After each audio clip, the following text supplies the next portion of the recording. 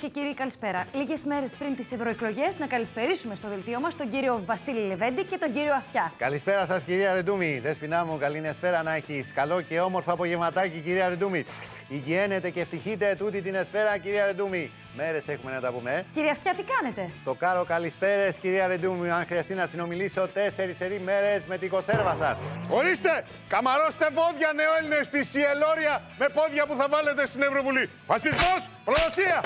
Λεβεντάκο μου, αγαπημένε, τα λες αυτά για τον Γιωργάκη τον Αυτιά που σε βράβευσε 12 φορές στην εκπομπή του.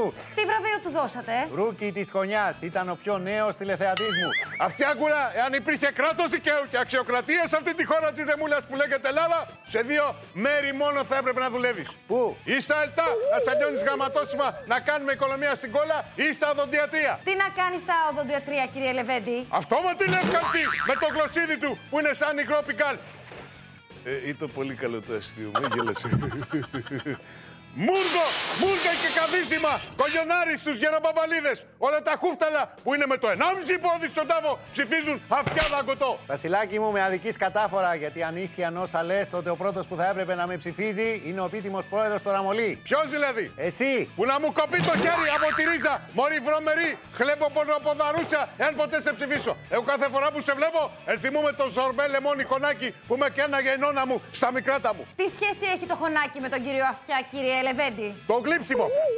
Μη μου συγχύζεσαι, Βασιλάκι μου. Εγώ χθες είδα το συμμαθητή σου και μου είπε ότι σε περιμένει πώς και πώς για το reunion. Ποιο συμμαθητή μου; Το μάμρα, τον πατοτινό. Κύριοι, κύριοι, σας παρακαλώ να ρίξουμε τους τόνους γιατί πρέπει να κλείσουμε.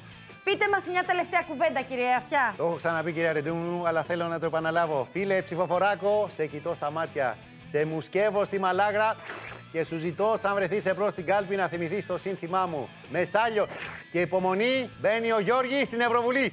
Τα βλέπετε, κάποια ζώα δεν με πιστεύανε. Τώρα που το ομολογούν μόνοι τους οι μποκόλιδες της πολιτικής, ευτυχώς θα με πιστέψουν και τα μοσχοροβουβαλότραγα. Έσκος, έσκος, αλητία, αρκουδέιδες, να πάνε στο όλοι κι εσείς οι δοσύλλογοι δημοσιοκάφοι, τα jukebox της εκκλησίας που τους καλείτε.